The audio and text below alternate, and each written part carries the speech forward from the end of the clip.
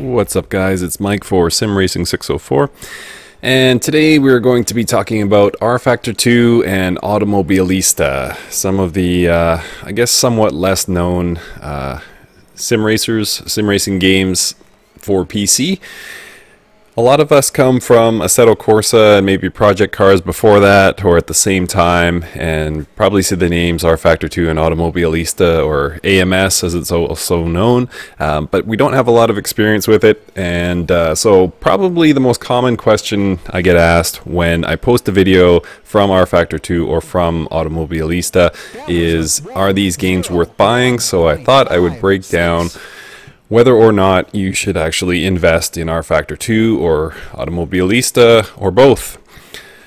So, the most common transition into sim racing is into Assetto Corsa. It's far and away the most, most popular sim racer there is for PC. Uh, there's a lot of metrics we could use. Um, I mean, according to Steam sales, it's RaceRoom by a lot, but keep in mind that's a free download, so I think the stats are skewed. But you go on any online forum, um, you know, mod communities, that kind of thing. Assetto Corsa is just you know the the largest market share, but that's not to say there aren't other great sims out there.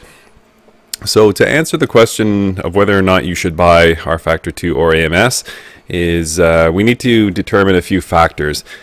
The first factor or consideration is uh, are you a casual gamer or are you a new are you new to sim racing? So if you're a casual gamer, uh, somebody who picks up Assetto Corsa perhaps or Project Cars on the weekend, runs it for half an hour and shuts it down, or if you're new to sim racing, just kind of getting your feet wet, maybe you bought a wheel and you're liking what you see, you should probably stay away from rFactor 2 and AMS. And uh, I, I made the same mistake, or I made that mistake, I should say, and immediately jumped into the deep end of sim racing and bought all, all the games I could find essentially on Steam that were relevant that I saw kind of uh, getting notoriety in chat rooms. And I remember firing them up when I first tried them, and I thought, this is terrible, I've wasted my money. I've since revised that thought, and I love both these games, both rFactor 2 and AMS. But keep in mind that uh, you're not going to be initially blown away. So um, there's a couple more factors we got to talk about. But if you're, like I say, if you're a casual racer or if you're new to sim racing, probably you're safe to avoid it for the time being.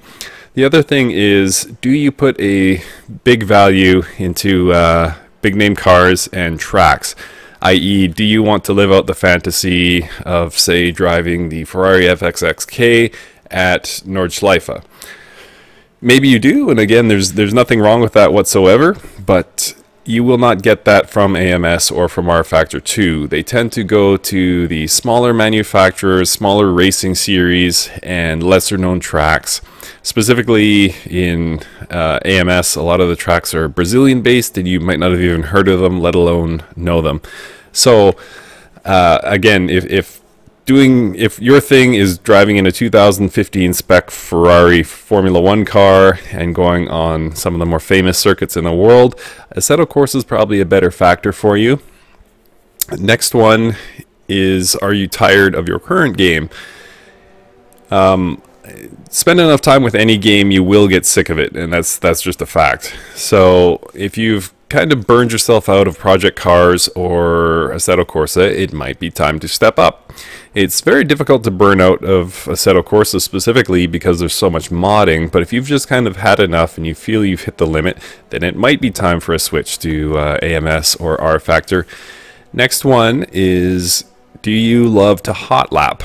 I am amongst those people. I do more hot lapping than I do racing, and hot lapping is best done in Assetto Corsa.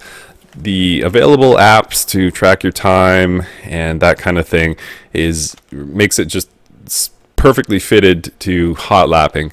And you can improve times. There's uh, rsr live timing to track yourself against the world and things like that. Uh, not to mention there's countless videos you can watch of hot laps where you can compare your racing line to others.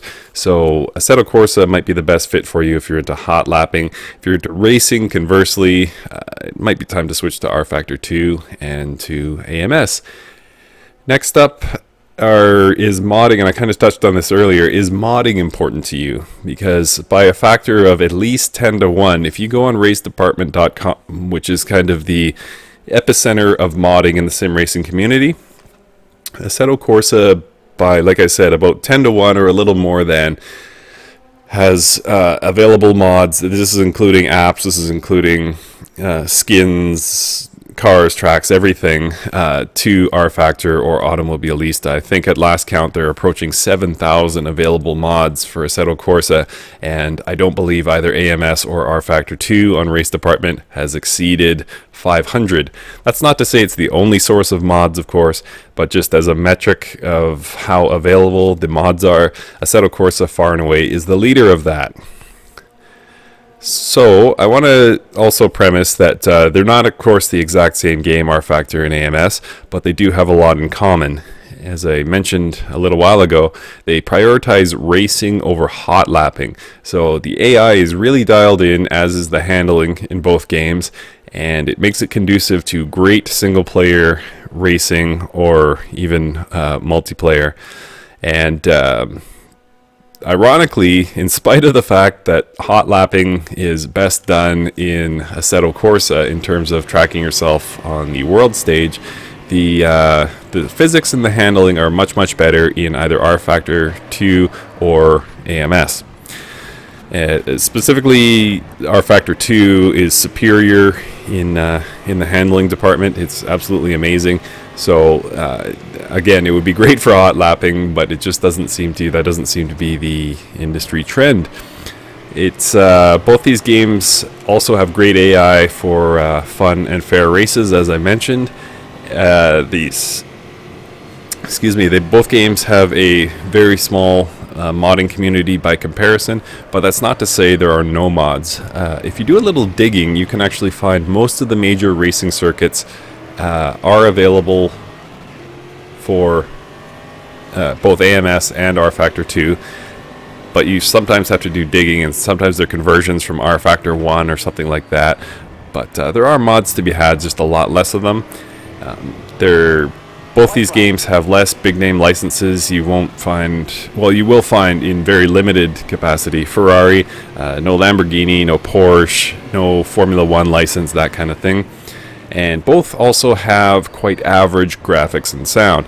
Now, on that note, and I'll dig into this a bit more later, uh, rFactor 2 is working hard to improve the graphics, but currently they are both what I would say average. Uh, they don't look terrible, it's not like you can't see what's going on on the track, they're just not at the standard of Assetto Corsa, and certainly not at the standard graphically of uh, uh Project Cars. So uh, some advantages, some reasons you might want to switch to rFactor 2 include uh, the physics, uh, whether you uh, rank it number one or not, there's no question that rFactor 2 is at the very sharp end of the field, of the sim racing field when it comes to physics the handling model, the tire model as they call it. Um, you know, your tires flex as you go around corners and that kind of thing, and is, it is vastly superior to Assetto Corsa or Project Cars.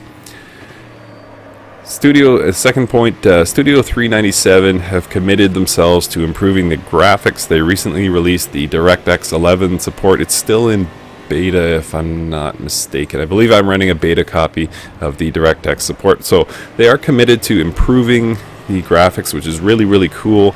Will it ever look as good as Project Cars? No. But uh, they are committed to improving it, and that is a major plus from any game studio. Next point, uh, the Steam Workshop and integration is great. Um, not that it's extremely di difficult, but uh, going through race department, finding the correct mod, downloading it, uh, importing it can be somewhat uh, meticulous at times and it doesn't always work but the rFactor 2 has great Steam Workshop integration. You can go on there and find official mods and unofficial mods. It's just simply a matter of hitting subscribe on the Steam Workshop and then the next time you open the game it will auto update and include the cars or tracks that you have added which is really really awesome. I love that And again, the races are fun and challenging, but always fair. So what I find is that even when I dial back the AI to say 90%, 85%, something like that, I still have really great races. So if you're getting to know a car or getting to know a track, you can still have a lot of fun and not feel uh, that you're being taken advantage of. They're not going to spin you too often as they do in RaceRoom, etc., etc. So very cool in that regard. And they also have multi-class races, which I think is awesome. So you can actually race uh, different classes. You can be in the higher up class and you know deal with lapping other cars, or you can deal or you can be the lower class of cars in a multi-class race and try and keep up with big boys which is also a lot of fun. And uh, jumping now to AMS, Automobilista, the advantages, again, uh, similar, probably not on the, on the same level as, but uh, certainly superior to a lot of others in its field. Uh, uh, AMS has great physics, great handling. It feels much more like you're connected to the road than uh, Project Cars or Assetto Corsa. And they also have excellent open wheel cars. They're unlicensed, like you're not going to get an official Formula One license or even a Ferrari license, but uh, or anything like that, McLaren, Mercedes. But what you will get is excellent. There's different classes ranging from I think they call it Formula Vintage through Formula Classic on up to Formula Ultimate, which is a nice recreation of an unlicensed current spec Formula One car. It uh, also another advantage of AMS is um, I mentioned before about are you living out a fantasy by sim racing, you know, taking a Ferrari out to Nordschleife or something like that. The thing is, you might get sick of that eventually because every major racing sim has Nordschleife. Every major racing sim has uh, Red Bull Ring or Spielberg, as it's sometimes known.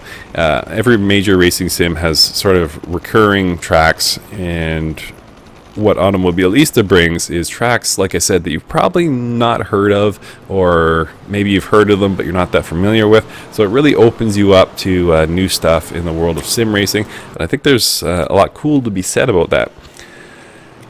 Next up, um, similar to rFactor, the uh, AI is really really sharp and it makes for great single player races. That's more my style. I don't like to wait in lobbies for people to join etc i'm much more likely when i have a half hour free or an hour free to just jump on play some single player and ams absolutely delivers. So uh, in summary uh, to sort of wrap this up about whether or not you should buy rFactor 2 or Automobilista Again, are you a casual gamer or new to sim racing? If you are, you can probably steer clear of these for the time being. You'll sort of know when it's time to transition. Next up, do you value the bigger name cars and tracks? If not, if you can do without those, then it might be a good fit to go to rFactor or AMS.